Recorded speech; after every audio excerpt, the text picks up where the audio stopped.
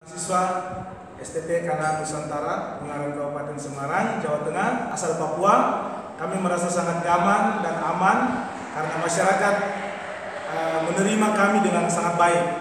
TNI dan Polri juga sangat peduli dengan kami dan mendukung kami dalam menempuh kuliah di sini. Kami mengucapkan terima kasih kepada masyarakat, TNI dan Polri. Papua itu Indonesia dan Indonesia itu Papua. Salam hormat dan salam kompak.